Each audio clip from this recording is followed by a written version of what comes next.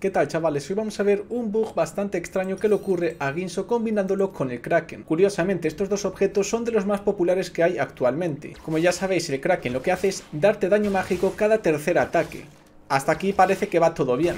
Lo raro comienza cuando lo combinas con el Ginso.